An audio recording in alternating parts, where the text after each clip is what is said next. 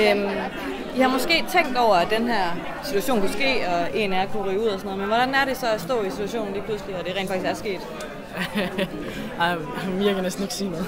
Nej. Ej, det er, det er selvfølgelig ikke rart. Øh, og altså, og det, det forsvinder så hurtigt. Øh, nu skal jeg jo så hjem.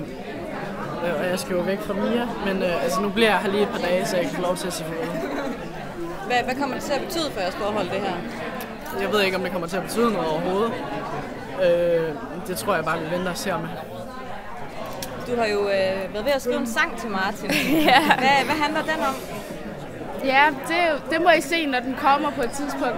Mia, hun, øh, hun skal... ja, jeg bliver Mias nye producer og manager. Ja. Så, øh, Har du så, hørt den endnu, sangen? Nej. Nej. altså, jeg vidste ikke engang, hun skrev sangen, før hun sagde det i indslaget. Så.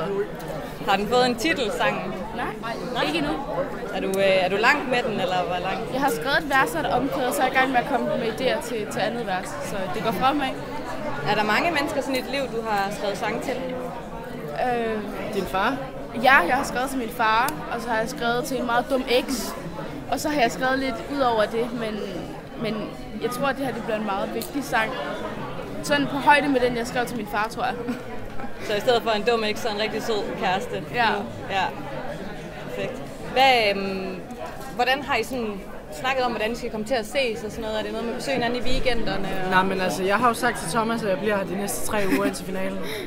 Så, ej, men altså, det ved jeg ikke. Øh, Jeg tror, det, det, lige nu er det helt lidt sløret. Jeg tror først, det er noget, vi finder ud af, når vi faktisk ligesom kommer i gang med det her. Altså, nu, nu er X faktisk slut for mig.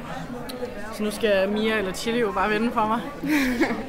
Og så sidder verdens største fan og klapper hver fredag. Ja, Perfekt. så løber jeg også lige op på scenen.